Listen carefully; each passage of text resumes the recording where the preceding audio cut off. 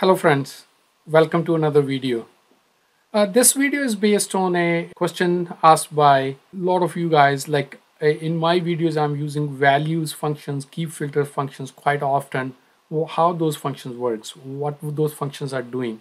So I'm doing this video dedicated to uh, explain those two functions and um, I, I hope that will clarify how those functions work and what those are doing in our solutions what we've seen in the past in our measures.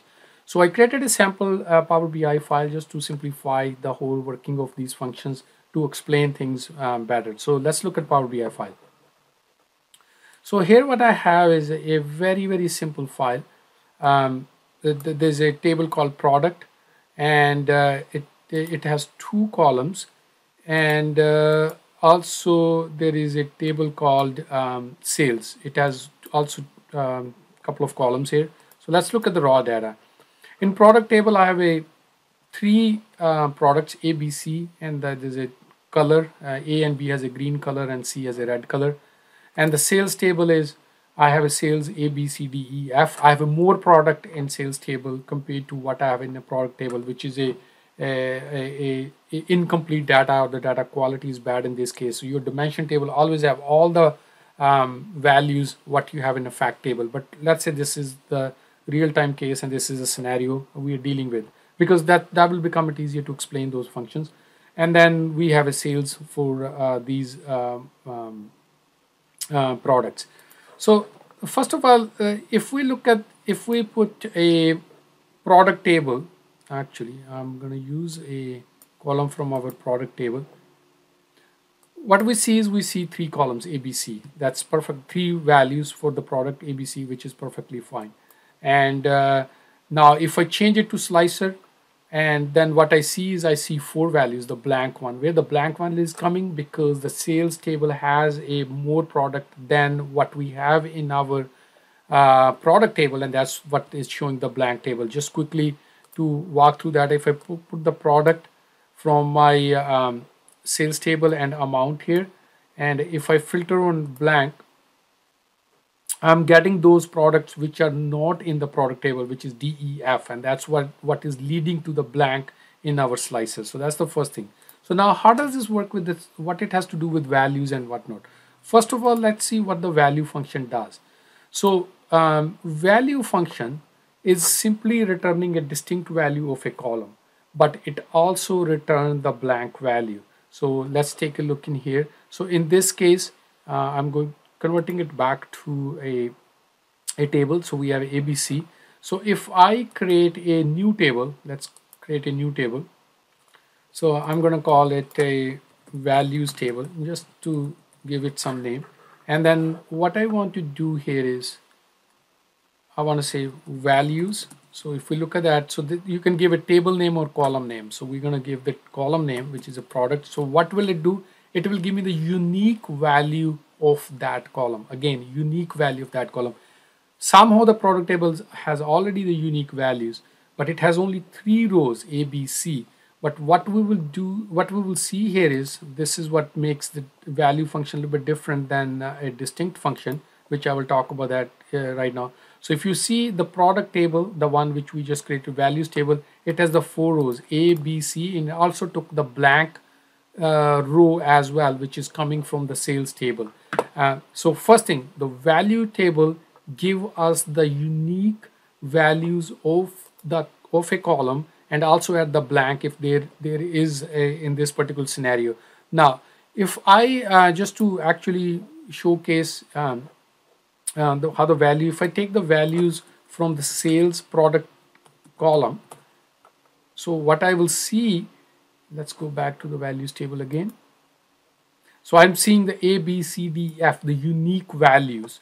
And if you remember the sales table, there are two rows of A, two rows of uh, one row of B, and then there's some duplicate rows for the D, E, F. So what we are getting with the values table, we are getting the unique values. So that's what the values, it returns a table with the unique values, but also at the blank row, which we saw in just in case of the product table. So that's the first thing.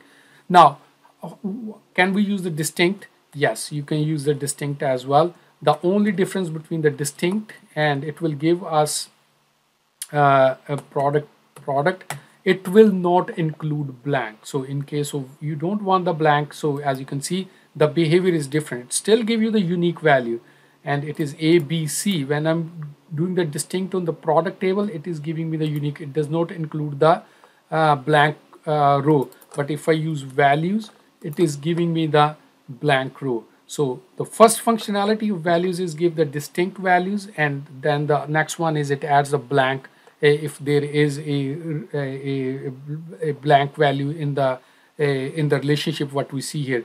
But if I go distinct a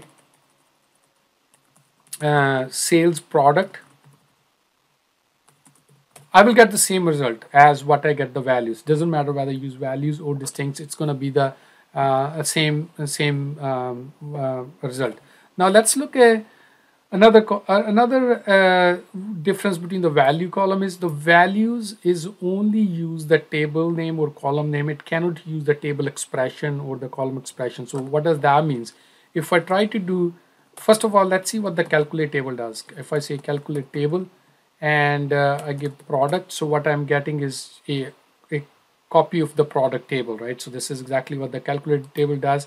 And now let's say if I say calculate table and I want to do values on top because as I said the values you can have that table or the column name doesn't matter so if I try to do the value so I'm getting the uh, the red line. This would not work because that is not possible because you cannot add the expression the value function expect a column reference expression or a table reference expression for argument one. You can't use a, a calculated expression. So but if I use distinct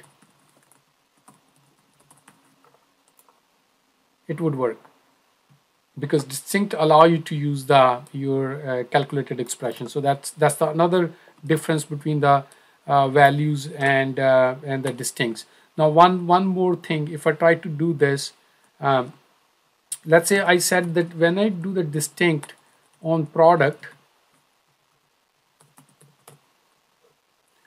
I get the three I get three rows here the unique rows which is perfectly fine. Uh, again just going back to values it will give me four ABC and then the fourth is the blank row. So but if I do this values of product so that's give me the table and then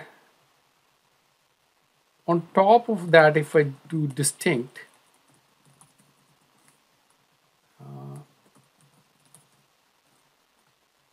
imagine what we expect to see here. Are we going to see ABC or we're going to see ABC in blank? So let's uh, check it out. So now we are seeing ABC in blank. The reason behind that is the values product give us the four rows, rows ABC and blank and the distinct is on top of that. So it is ABC blank is now distinct. But if I do the distinct directly on the product table, then I don't get the blank. So just want to make sure that we are clear on that. So now, so this is working, um, a, this is the big difference between values and the distinct. So distinct, again, you can use the calculated table and the calculated expression in this, and then you can use that. Um, and it does not include the blank in there. Whereas the values, you can use the calculated uh, expression in there, and it does return the blank if, if, it's, um, if it is there. If my product table has all the product which are in the sales table A, B, C, D, E, F, then there will be no blank because then the, the, the relationship is okay. There's no um, um, referential integrity issue. So that's the, that's the uh, thing. So now let's move on to um, keep filter. So how the keep filter works and what does that do? So I'm going to um, write a, uh, so let's say we have a product and then we have a color green here now, I want to get the sales of the green products. So let's write as a measure here.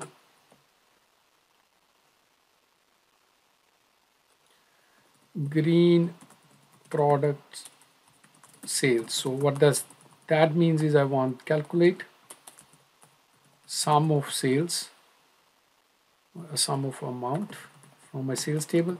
And I want to filter on where color is green because that's what I want. Okay.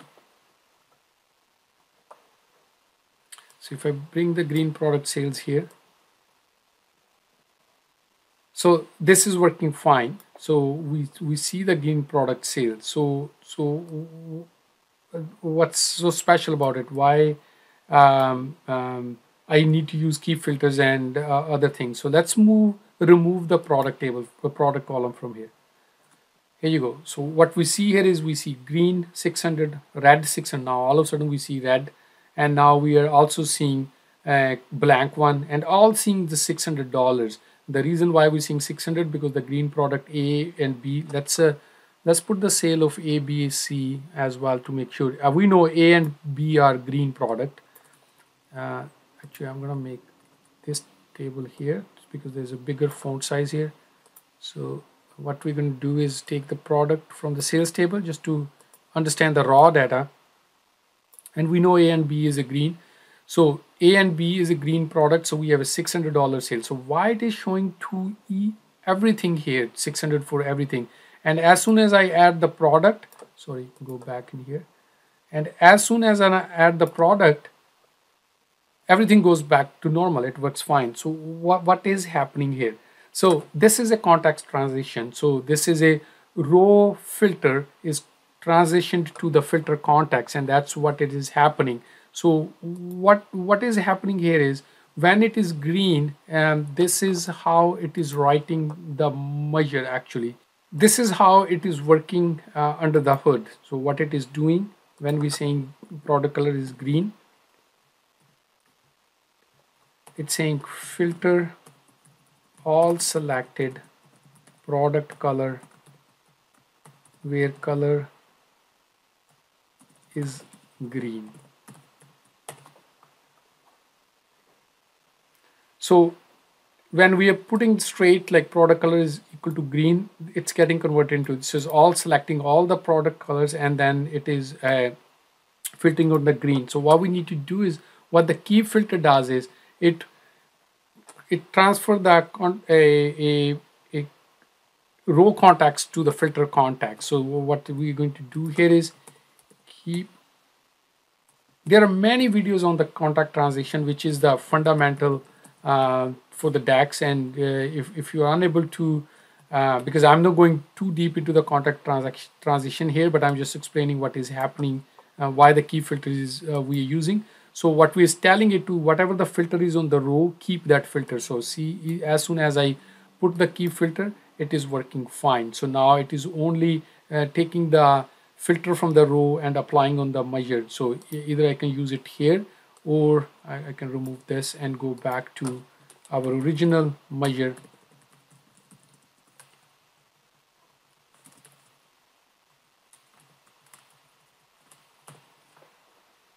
and and it works fine.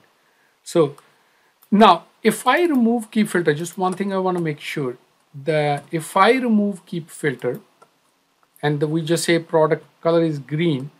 Um, and if I look this measure I just want to make sure uh, one thing I'm clear here. So if I remove color my value is fine. It will be 600 that what we know the $600 sales. If I look at by product from my product table it will be fine too because A and B because the the contact now we are the the row is looking at the product and then filtering on the green and then uh, 400 and 200.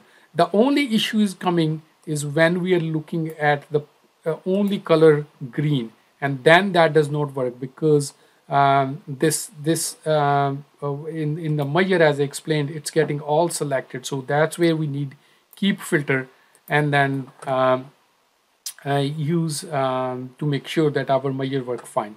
So again, uh, we gone through uh, in my videos why I use values functions to get the distinct values uh, most of the time from a table and then also keep filter using to convert the row context to the filter context. So that's where the keep filter come in the picture.